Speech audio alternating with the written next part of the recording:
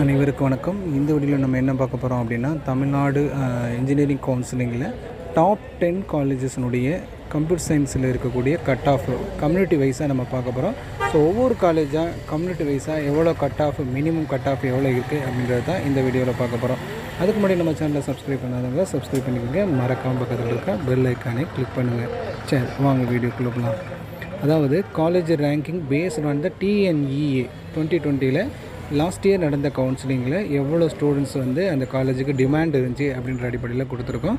so ஒவ்வொன்றா நீங்கள் பாருங்கள்